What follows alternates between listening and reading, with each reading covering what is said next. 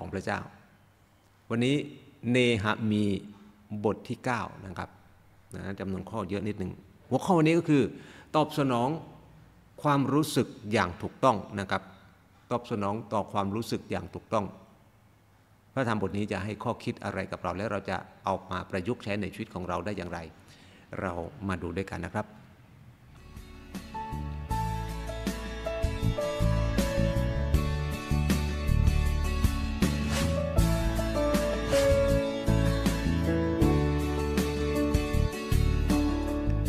อ่านแล้วคิดชีวิตเปลี่ยนแล้วทำตามชีวิตไม่ยากกว่าที่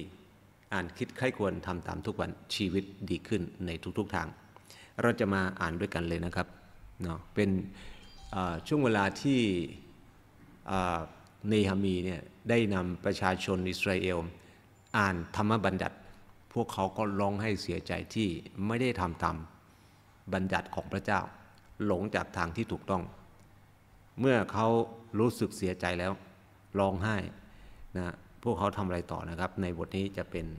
เรื่องราวที่เราจะได้รู้กัน ในวันที่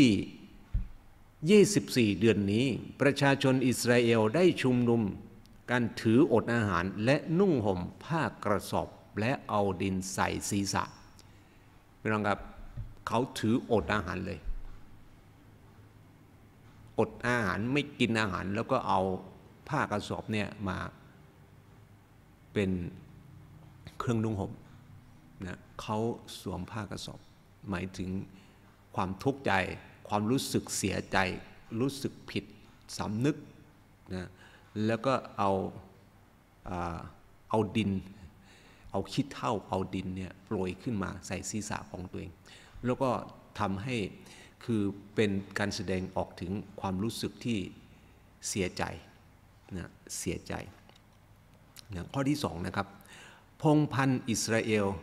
ได้แยกตัวออกจากชนชาติต่างๆ และยืนสารภาพบาปต่อสารภาพบาปของตน และสารภาพกรรมชั่วของบรรพบุตรของเขา และพวกเขาลุกขึ้นในที่ของเขาและอ่านจากหนังสือธรรมบัญญัติของพระยาเว พระเจ้าของเขาทั้งหลายอยู่สามชั่วโมง อีกสามชั่วโมงพวกเขาสารภาพและนมัสการพระยาเวพระเจ้าของเขาทั้งหลาย พี่น้องครับนี่คือสิ่งที่เมื่อเขารู้สึกผิด เมื่อเขารู้สึกเสียใจต่อสิ่งที่เขาทำลงไป เขาตอบสนองด้วยการแสดงออกเป็นบางอย่างเป็นสัญลักษณ์ที่บ่งบอกถึงการกลับใจการสำนึกผิด ไม่ต้องนี่คือสิ่งที่เขาตอบสนองต่อความรู้สึกในเวลานั้น ข้อที่สี่เยชูอาบานี คัตมีเอล เชบานิยา บุญนี เชเรบิยา บานี และเคนานี ได้ยืนขึ้นที่บันไดของคนเลวี และเขาได้ร้องด้วยเสียงดังต่อพระยาเวพระเจ้าของเขา ร้องต่อพระเจ้าที่ฐานต่อพระเจ้าทูลต่อพระเจ้าด้วยเสียงอันดัง แล้วคนเลวีเยชัวคันมีเอลบานีฮาซับเซฮาซับเนยา เชเรบิยา โฮดียา เชบานิยา และเปหะเปทาหิยา กล่าวว่าด้วยเสียงดังบอกงี้ จงยืนขึ้นและสรรเสริญพระยาเวพระเจ้าของท่านทั้งหลาย ตั้งแต่นิรันดร์การจนถึงนิรันดร์การ ยืนขึ้นนมัสการสรรและเสริญพระเจ้าของท่านตั้งแต่นิรันดร์การนิรันดร์การสาธุการแด่พระนามอันรุ่งโรจน์ของพระองค์ ซึ่งยิ่งใหญ่เหนือการขอบพระคุณและสรรเสริญทั้งปวง พระองค์คือพระยาเวพระพระองค์ผู้เดียว พระองค์ได้ทรงสร้างฟ้าสวรรค์ ฟ้าสวรรค์อันสูงสุดพร้อมกับ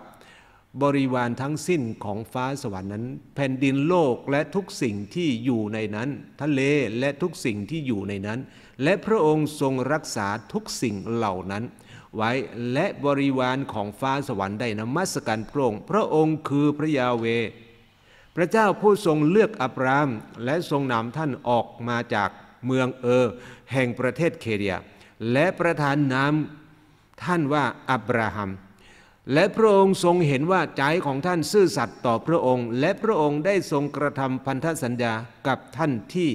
จะประทานแผ่นดินของคนคานาอัน คนฮิตไทย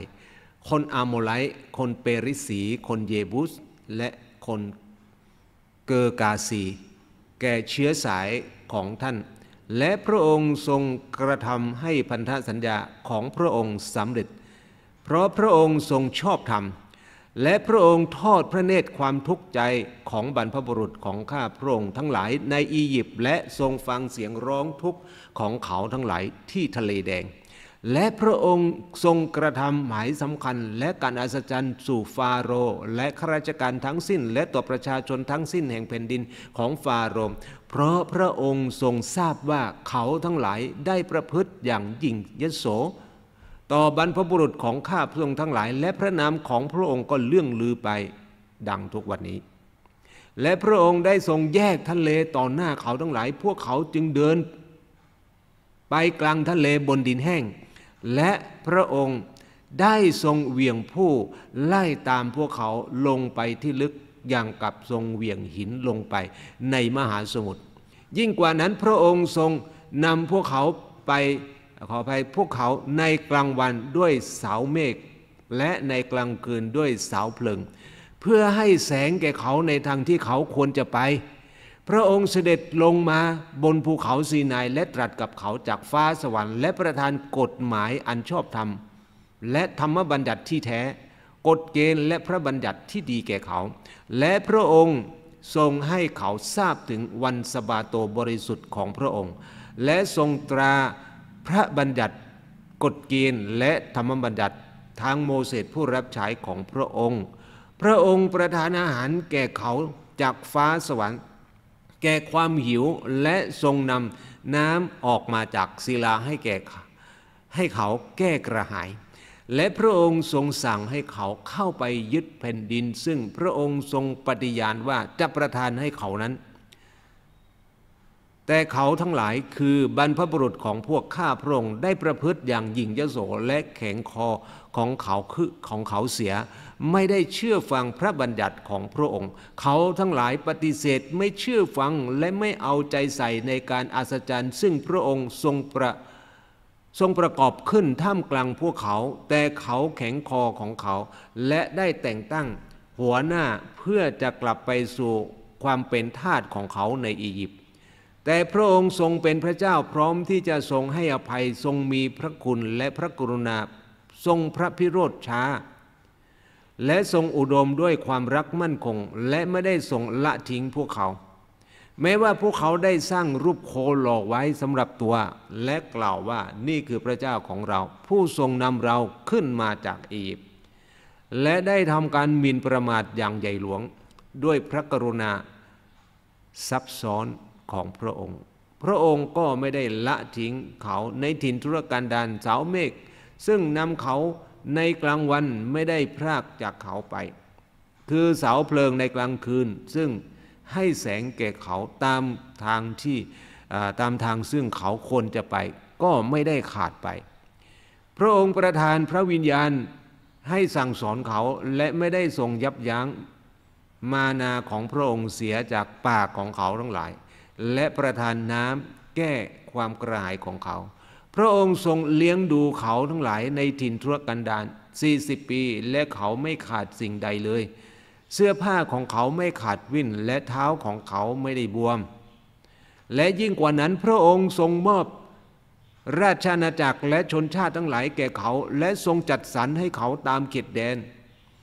เขาจึงได้ ยึดแผ่นดินแห่งสิโหนกษัตริย์แห่งเมืองเอชโบนและแผ่นดินของโอกกษัตริย์แห่งเมืองบาชานพระองค์ทรงทวีเชื้อสายของเขาอย่างดวงดาวแห่งฟ้าสวรรค์ และพระองค์ทรงนำเขาเข้าไปในแผ่นดิน ซึ่งพระองค์ตรัสสั่งบรรพบุรุษของเขาให้เข้าไปยึดนั้น เชื้อสายเหล่านั้นจึงเข้าไปและยึดแผ่นดินนั้น พระองค์ทรงปราบปรามชาวแผ่นดินนั้น คือคนคานาอัน ให้พ้นหน้าเขาและทรงมอบคนเหล่านั้นไว้ในมือของเขา พร้อมกับกษัตริย์และชนชาติทั้งหลายแห่งแผ่นดินนั้น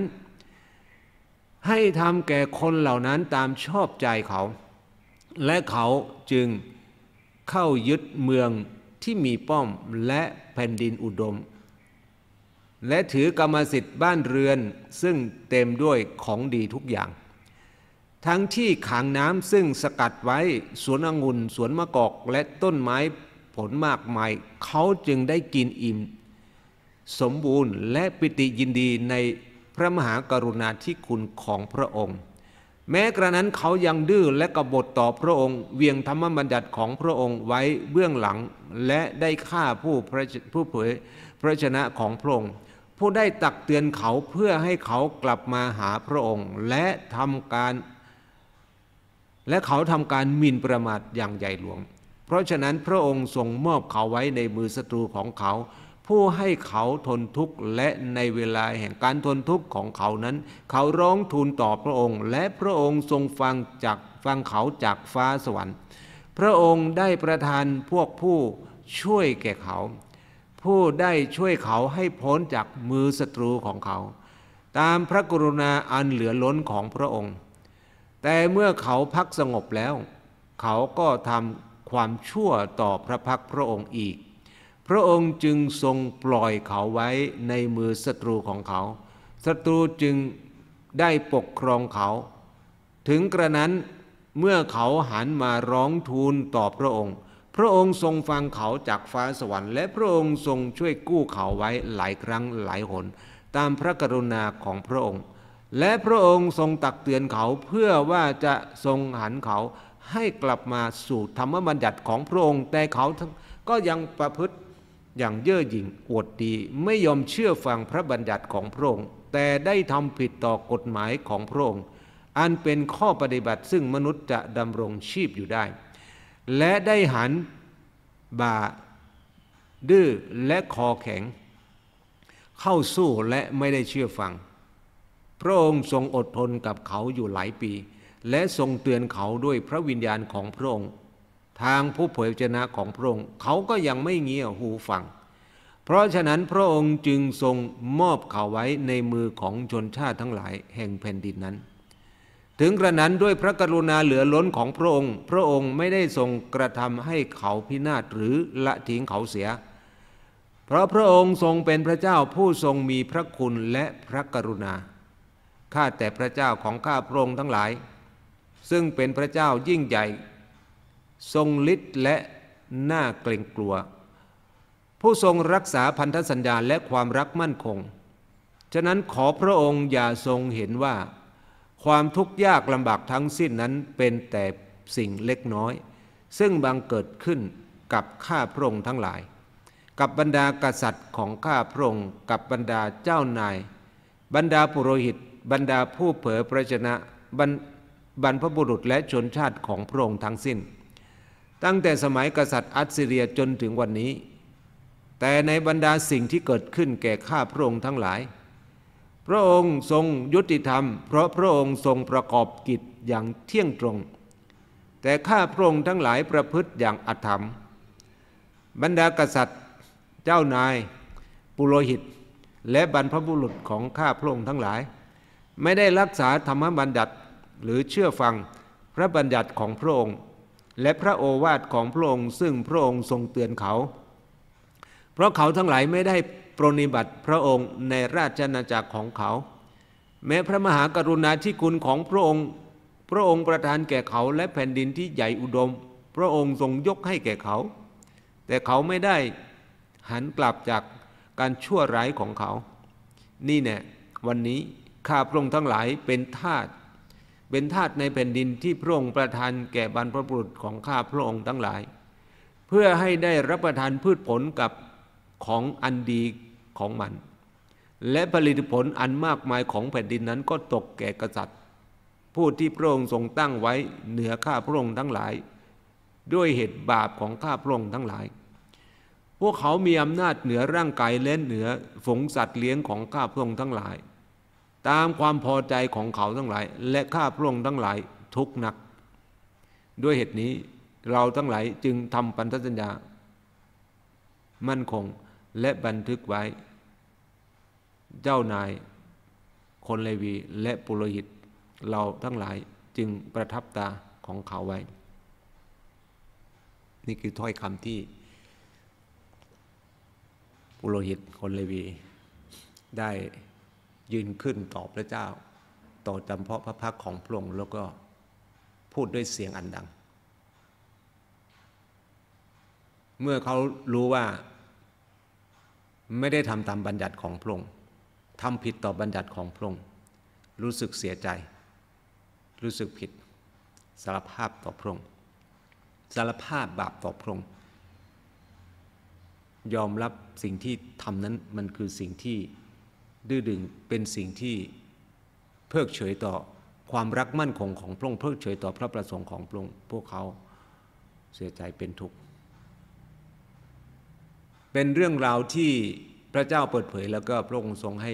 พวกเขาได้รู้ว่า พระเจ้าทรงมีแผนการที่ดีสำหรับชีวิตของพวกเขาแล้วก็ พระองค์ทรงใช้เหตุการณ์ต่างๆเพื่อที่จะเตือนเพื่อที่จะสอนเพื่อที่จะให้เขากลับมาอยู่ในทางของพระองค์ เรื่องนี้คือสิ่งที่เกิดขึ้นในพระธรรมของพระเจ้าที่เราอ่านวันนี้ ผมอ่านทั้งหมดทั้งสิ้นแล้ว ก็สิ่งที่พระเจ้าเปิดเผย เพราะทุกครั้งที่อ่านพระธรรมของพระเจ้า ถามพระเจ้าว่าพระเจ้ากำลังสอนอะไร มันมีอยู่เยอะนะครับ พูดไม่หมด ความล้ำลึกในคำสอนเยอะมากนะครับ แต่มีเรื่องที่ พระเจ้าให้ก็คือตอบสนองต่อความรู้สึกที่ถูกต้อง รู้สึกเสียใจแล้วตอบสนองต่อความเสียใจนั้นอย่างไร รู้สึกว่าผิดแล้วตอบสนองต่อสิ่งที่ผิดอย่างไร รู้สึกว่ามันไม่ใช่แล้วเราตอบสนองมันอย่างไรเรื่องนี้คือสิ่งที่พระเจ้ากำลังบอกกับเรา เราถ้าเราตอบสนองต่อความรู้สึกอย่างถูกต้อง ชีวิตของเราไปต่อได้ ถ้าเราตอบสนองต่อความรู้สึกเหล่านั้นผิด เราก็จะไปต่อในทางที่ผิด ในทางที่ที่ไม่ถูกต้อง เสียใจแต่ไม่ได้กลับใจ ก็ตอบสนองต่อความรู้สึกเสียใจที่ไม่ถูกต้องนะรู้สึกผิดแต่ไม่ได้ตอบสนองเปลี่ยนทิศเปลี่ยนทางในทางที่ถูกต้อง มันก็เป็นการตอบสนองต่อความรู้สึกผิดที่ ไม่ใช่ถูกไหมครับฉะนั้นในชีวิตของเราเนี่ยเราเจอกับความรู้สึกเยอะมากนะครับนะครับเมื่อเราอ่านหนังสือของพระเจ้าไม่เพียงแค่ความรู้ แต่เราจะต้องรู้สึก และเมื่อเรารู้สึกเราจะต้องตอบสนองต่อความรู้สึกนั้นที่ถูกต้องเอเมนนะครับ ถ้าเราอ่านพระคำของพระเจ้าแล้วเราไม่รู้สึกแสดงว่าเราไม่ได้มีชีวิตฝ่ายวิญญาณเลย ถ้าเราอ่านพระธรรมของพระเจ้าแล้วเรารู้สึกเฉยเฉย ไม่มีอะไรเลยพระธรรมของพระเจ้าเป็นเรื่องราวประวัติศาสตร์ของอิสราเอลเขาเป็นทาสแล้วก็กลับมา ก็แค่นั้นเอง แสดงว่าเรายังไม่มีความรู้สึกทางไฟวิญญาณ แต่ถ้าเกิดว่าเรามีความรู้สึกนั่นแสดงว่าเรามีชีวิตแล้ว เหมือนกับร่างของคนไร้วิญญาณนะนะเราเอาอาหารไปให้นะเขาก็ไม่รู้สึกที่อยากหิวที่อยากกินนะครับนะชีวิตไฟวิญญาณก็เช่นเดียวกัน เมื่อเราอ่านพระธรรมของพระเจ้า คือถ้าเรามีชีวิตไฟวิญญาณ เราก็จะ หิวกระหายหาอาหารไฟวิญญาณถูกไหมครับนะเมื่อเราหิวกระหายหาแล้วพอเรากินแล้วมันก็ต้องตอบสนอง แต่ถ้าเกิดกินแล้วไม่ตอบสนองแสดงว่าร่างกายไม่ผิดปกติ ชีวิตฝ่ายวิญญาณไม่ปกติ ถ้าอ่านพระคัมภีร์แต่ไม่รู้สึกอะไรเลย อ่านพระคัมภีร์ก็ชีวิตไม่เปลี่ยนตอบสนองไม่ถูกแสดงว่าชีวิตฝ่ายวิญญาณเราจะต้องมีการปรับแก้ จะต้องแก้ไขจะต้องปรับปรุง ขอพระวิญญาณของพระเจ้าช่วยเห็นไหมครับนะในเนมีได้บอกกับพวกเราได้บันทึกว่าชนชาติอิสราเอลนั้นผู้นำฝ่ายจิตวิญญาณเขาก็ลุกขึ้น แล้วก็ที่ฐานต่อพระเจ้าบอกกับพระเจ้านะเสียใจที่จะตอบสนองต่อความรู้สึกเสียใจนั้นด้วยการเขาเซ็นสัญญาเลยทำต่อไปนี้เราจะไม่ทำให้บัญญัติของพระเจ้าเนี่ยสูญเสียหรือ คือเราจะต้องทำตามพระคำของพระเจ้าเนี่ยเซ็นสัญญาแล้วก็ลงลงชื่อและรับรองแล้วเราจะกลับมาทำในสิ่งที่ถูกต้องพี่น้องครับเราตอบสนองต่อสิ่งที่ถูกต้องสิ่งที่ตอบสนองต่อความรู้สึกอย่างถูกต้องแบบนี้ไหมในชีวิตของเรานะครับมาถึงข้อคิดคำถามจากพระธรรมของพระเจ้า เมื่อรู้สึกคุณตอบสนองความรู้สึกอย่างไร เมื่อรู้สึกเราตอบสนองต่อความรู้สึกอย่างไรพี่น้องครับคำนี้มันเป็นคำที่กว้างนะครับ ไม่เพียงแค่ ฝ่ายวิญญาณที่เราต้องรู้สึกอย่างถูกต้องนะครับเราจะตอบสนองแล้วก็จะเติบโตฝ่ายวิญญาณนะครับ แต่ในทั่วไปเนี่ยเอามีความรู้สึกหิวเนี่ยเราตอบสนองต่อความหิวยังไง เรารู้สึกอยากเนี่ยเราจะตอบสนองต่อความรู้สึกอยากนั้นยังไงนะเราความอยากของเราก็มันไม่ได้จำเป็นหลาย ๆ ครั้งเนี่ยเฮ้ยเราอยากนู่นอยากนี่เขามีเราก็อยากจะมีเขารวยเราก็อยากจะรวยเราตอบสนองต่อสิ่งนี้ได้อย่างไรนะครับ เมื่อเราอยากกินเนี่ยแต่ว่าอาหารที่อยู่ตรงหน้าที่เราอยากจะกินเนี่ยมันไม่สมควรที่จะกินเนี่ยเราตอบสนองอย่างไรพี่น้องครับนี่คือสิ่งที่ เมื่อเรารู้สึกที่เกียจออกกำลังกายเนี่ยเราจะตอบสนองต่อความรู้สึก ไม่อยากออกกำลังกายอย่างไรนะนี่ออกไหมฮะเมื่อเรามีความรู้สึกต่าง ๆ เหล่านี้เนี่ยเรารู้สึกไม่อยากจะอ่านพระคัมภีร์เราตอบสนองอย่างไร ถ้าเราตอบสนองต่อสิ่งเหล่านี้อย่างถูกต้อง ชีวิตของเราจะไปถูกข์แต่ถ้าเกิดว่าเราไม่ได้ตอบสนองต่อความรู้สึกอยากกิน ไม่ไม่ได้ตอบสนองต่อความรู้สึกไม่อยากออกกำลังกายอย่างถูกต้องอนาคตก็คือสุขภาพไม่ดี แต่ถ้าเกิดเราตอบสนองความรู้สึกนี้อย่างถูกต้องพี่น้องครับสุขภาพดีแน่นอนเอเมนไหมครับถ้าเราตอบสนองต่อความรู้สึกไม่อยากอ่านพระคัมภีร์ไม่อยากฟังเดี๋ยวไม่อยากเข้ามาหาพระเจ้าอนาคตของคุณก็คือชีวิตที่ไม่เข้มแข็งในไฟวิญญาณ จะประกาศจะนำข่าวประเสริฐก็ไม่มีพลังเราตอบสนองต่อความรู้สึกอย่างนี้อย่างไรเยอะมากนะครับพี่น้องครับมันกว้าง แต่ไม่ว่าเป็นอย่างไรวันนี้เรารู้แล้วว่า ถ้าเราตอบสนองต่อความรู้สึกในทางที่ถูกต้อง เราจะไปต่อในทางที่ถูกต้อง จะตอบสนองความรู้สึกตามพระประสงค์ ของพระเจ้าได้อย่างไรอ่านี่เป็นอะไรที่โอ้โหมันสุดยอดมากๆนะเราไม่ต้องการที่จะตอบสนองต่อความต้องการหรือความรู้สึกของเราเหล่านั้นเนี่ยตามที่เราต้องการหรือตามเนื้อหนังของเรา แต่เราต้องการที่จะตอบสนองต่อความรู้สึกต่างๆนั้น เมื่อพระเจ้าให้เกิดความรู้สึกเหล่านั้นแล้วเนี่ยนะเราจะตอบสนองต่อความรู้สึกเหล่านั้น ตามที่พระเจ้าประสงค์เนี่ยได้อย่างไร ถ้าเราไม่มีพระวิญญาณบริสุทธิ์ถ้าเราไม่มีพระเยซูคริสต์ครอบครองชีวิตของเราพี่น้องครับ เราจะไม่ได้ตอบสนองต่อความรู้สึกตามที่พระเจ้าประสงค์ ถ้าเรามีเนื้อหนังครอบครองเรามีชีวิตความเป็นมนุษย์ครอบครองชีวิตของเรา เราก็จะตอบสนองความรู้สึกเหล่านั้น อย่างที่มนุษย์เขารู้สึกอะอย่างที่มนุษย์ต้องการ อย่างที่มนุษย์ประสงค์ถูกไหมครับ ยันถ้าเราต้องการที่จะให้ความรู้สึกเหล่านั้น ที่เราจะตอบสนองมันอย่างถูกต้องตามที่พระเจ้าประสงค์ ต้องยอมให้ชีวิตเนี่ยอยู่ในการครอบครองของพระวิญญาณบริสุทธิ์อยู่ในการครอบครองของพระเยซูคริสต์ชีวิตเป็นของพระองค์ไม่ได้เป็นของเนื้อหนังไม่ได้เป็นของอะไรต่อไป และเราจะตอบสนองต่อความรู้สึกต่าง ๆ เหล่านั้นเนี่ยอย่างที่พระเจ้าประสงค์เอเมนไหมครับวันนี้มอบให้มอบชีวิตให้กับพระเยซูมอบทั้งหมดให้กับพระองค์ครอบครองเอเมน จะหนุนใจคนรอบข้างให้ตอบสนองต่อความรู้สึกอย่างถูกต้องได้อย่างไร โอ้เป็นอะไรที่สุดยอดมากพี่น้องครับเราอยากจะเห็นคนรอบข้างเนี่ยตอบสนองต่อความรู้สึกอย่างถูกต้องนะไม่ใช่ว่าอยากจะด่าใครก็ด่า อยากจะพูดอะไรก็พูด อยากจะทำอะไรก็ทำตามอำเภอใจเหมือนอย่างกับคำพูดทุกตัวที่เขาพูดเอาที่สบายใจโอ้โหตัวเองนั้นสบายใจ คนอื่นนั้นมันไม่สบายใจ คนอื่นเดือดร้อนนะเราไม่อยากจะให้เกิดบรรยากาศแบบนั้นถูกไหม ดังนั้นเราจะทำยังไงให้คนเหล่านั้น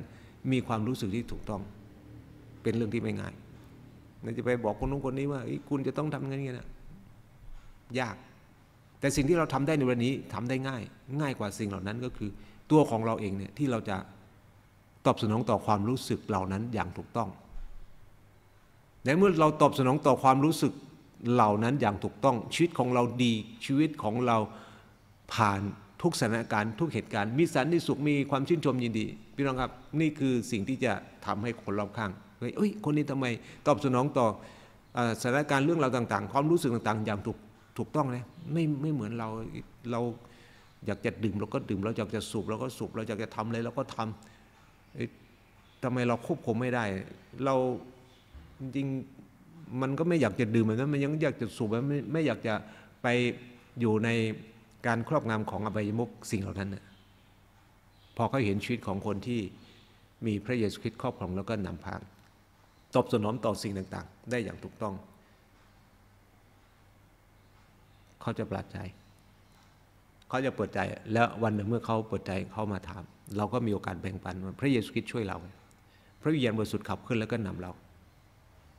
โอ้จริงเหรอพระเยซูช่วยได้เหรอใช่พระเยซูช่วยคุณได้แน่นอน ไม่ว่าจะเจอปัญหาอะไรชีวิตของคุณ พระเยซูช่วยได้ เปิดใจต้อนรับพระเยซู วันนั้นพระเยซูก็จะช่วยเขาแล้วก็นำเขาให้มีชีวิตที่ตอบสนองต่อความรู้สึกที่ถูกต้องเอเมนนะครับให้เราใช้เวลานี้อธิษฐานต่อพระเจ้าร่วมกัน อะไรคือข้อคิดอะไรคือสิ่งที่เราจะเชื่อฟังด้วยการทำตามข้าแต่พระเยซูคริสต์เจ้าเราขอบพระคุณพระองค์สำหรับพระธรรมของพระองค์ในเช้าวันนี้ ขอพระวิญญาณบริสุทธิ์นำเรา เราขอพึ่งพระองค์เท่านั้นพระองค์เจ้าค่ะเราปรารถนาชีวิตที่ ตอบสนองต่อความรู้สึกต่างๆ ได้อย่างถูกต้องเหมือนอิสราเอลที่เขารู้สึกผิดแล้วก็กลับใจตั้งต้นใหม่ เปลี่ยนแปลงชีวิต พระเจ้าเราขอพึ่งพระองค์นั้นชีวิตของเราจะไม่สามารถเปลี่ยนแปลงได้อย่างที่พระเจ้าประสงค์ นอกจากพระองค์จะนำพาชีวิตของพวกเราอธิษฐานต่อพระองค์ร่วมกันในพระนามพระเยซูคริสต์เจ้าเอเมน ขอพระวิญญาณบริสุทธิ์ที่จะเติมเต็มให้กับพวกเราทุกคนนะครับ หากว่าข้อคิดนี้เป็นประโยชน์เป็นพระพรก็แบ่งปันด้วยกันแชร์ออกไป ขอบพระเจ้าอวยพรครับ